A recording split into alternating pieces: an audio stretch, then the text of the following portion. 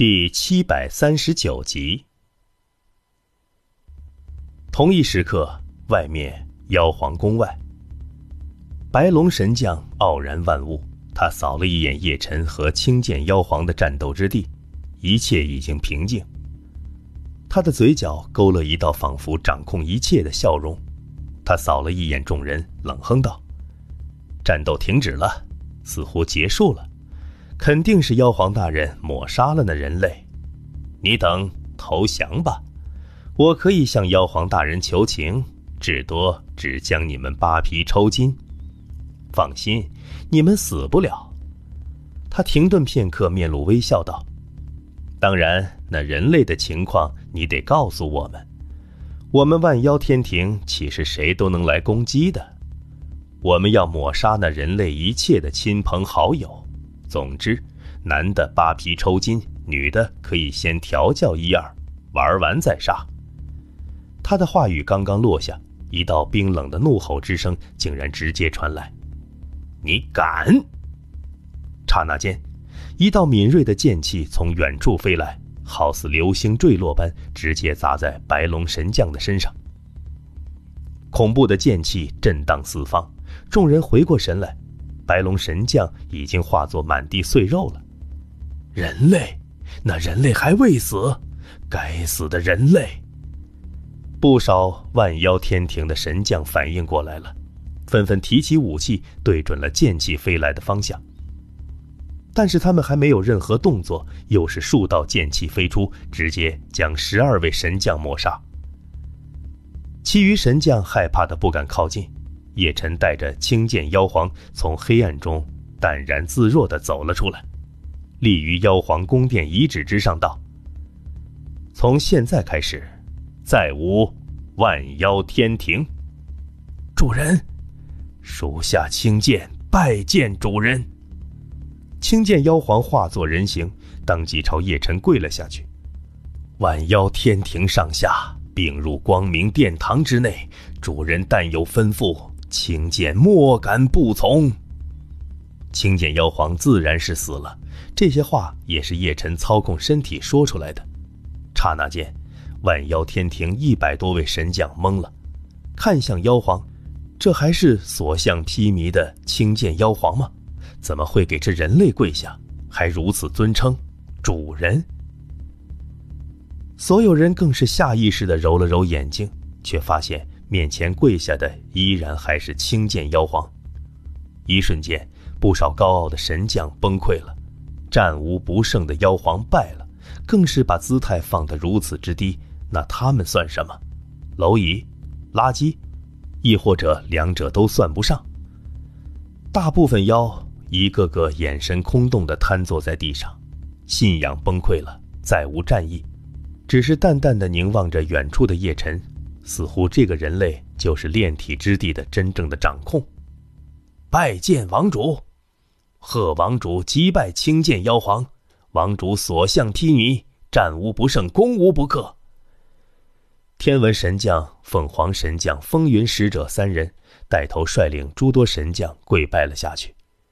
百战妖王震惊的半跪着，凝望着叶辰，喃喃道：“击败了青剑妖皇，他的潜力和天赋太恐怖了，臣服他似乎是个很好的选择。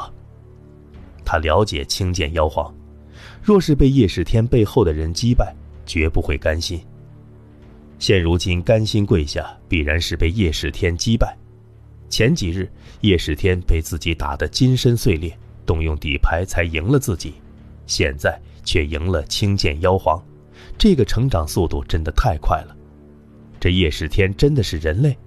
昆仑虚似乎根本容不下这样的存在，血灵族也容不下呀。诸妖听着，休整一日，我会率领你们回到昆仑虚。叶辰立下命令，收服万妖天庭的事便交给百战神将来做了。百战神将总管理光明殿堂的事情。当中以他修为战力最高，至于青剑妖皇，现在都成叶辰的战魁了，是不指望让他去处理事情，让他去处理，就相当于叶辰自己去处理。光明殿堂汇聚万妖，以前两大王主，百战妖王和昆古妖王，此刻都被贬为了神将。叶辰本想离开炼体之地，直接去华夏，但是却得到了血七叶的传声。血七叶让他在炼体之地再待一晚。这一晚有大事发生。夜幕降临，叶辰立于山巅之上，气息恐怖。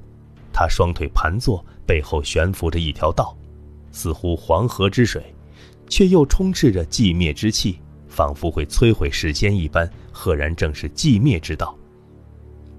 只是这条寂灭之道不过数十米长而已，距离三百米的巅峰之道也不过刚刚开头。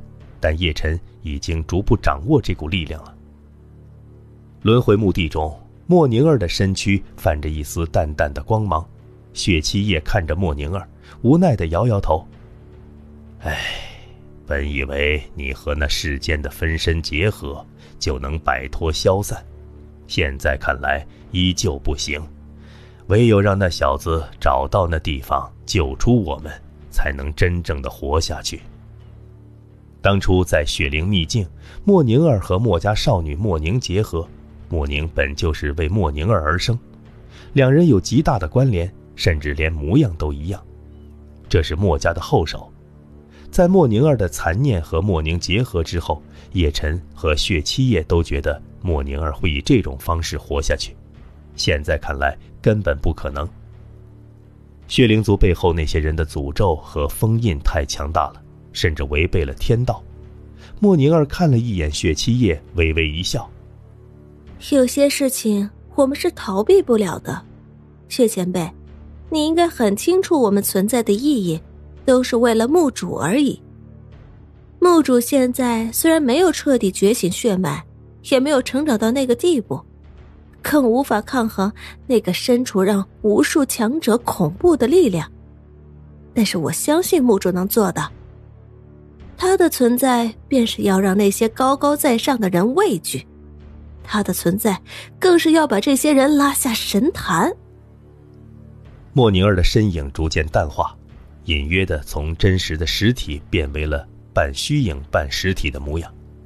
莫宁的身躯倒下，陷入了昏迷。现在只有莫宁儿那即将消散的神念，他的神念要撑不住了。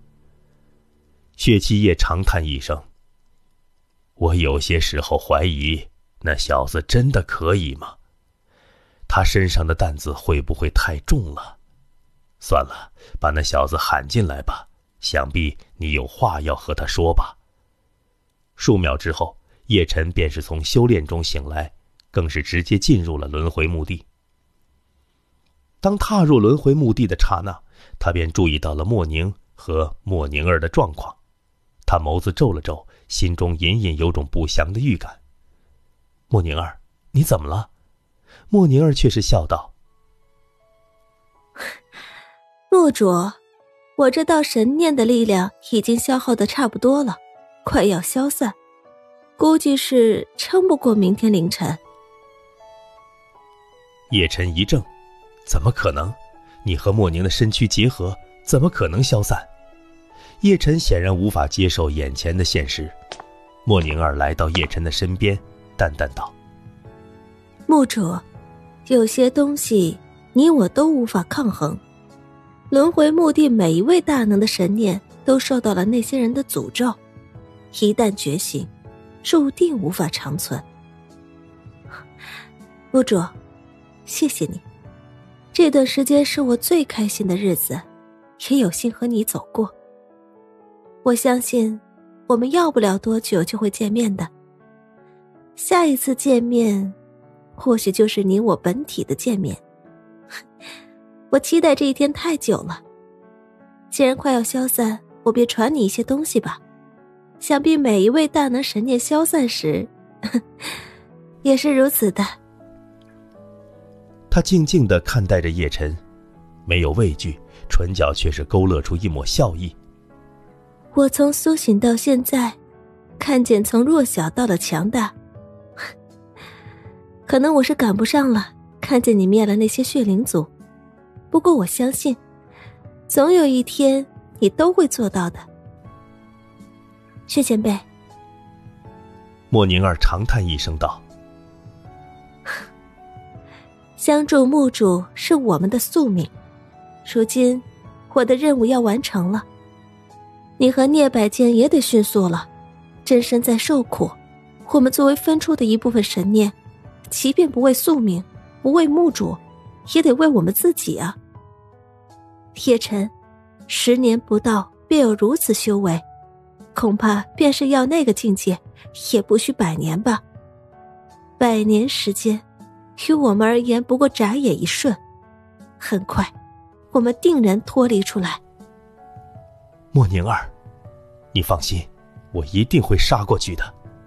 叶晨拳头握紧，一股无力感涌上心头，停顿片刻，再道：“我已经准备好了，这一次不是血灵族消失，就是我叶辰死。一年后宰了那些血灵族的畜生，我会亲自杀上九天。”好。志气不减。莫宁儿手心缓缓凝聚出一个冰色灵团，豁然扔给叶辰道：“在这里有我对于大道的领悟，你都细细领悟修炼。我虽然没有林清玄的医术，但我对于空间法则同他们是有明显的差距的。这些东西给你，却算是传承了。未来你到混元境会有极大的益处的。”莫宁儿其实对叶晨是有好感的，但是他知道两人根本不可能，他只不过是神念一道，固然是神念，当他消散之后，一切记忆都会回归本体，或许他被困的本体会和叶晨发生什么吧。他现在只想把一切东西给叶晨，叶晨成长的越快，两人见面的时间就越快。叶晨看着面前的冰色灵团。心中复杂万千。他本以为打破了轮回墓地的诅咒，可以让莫宁儿不消散，现在看来根本不可能。命运就是如此和他开了一个玩笑。他的眼眸柔情却又坚定，离别又如何？消失的是神念，不是本体。百位大能的本体都处于水深火热之中。他要做的便是不惜一切将这些大能救出来。他手握轮回墓地，便是掌控了最大的底牌，可以对抗一切。但是他也知道，前面的路会是多么的痛苦和艰难。他更知道自己要面对的敌人是多么恐怖的存在。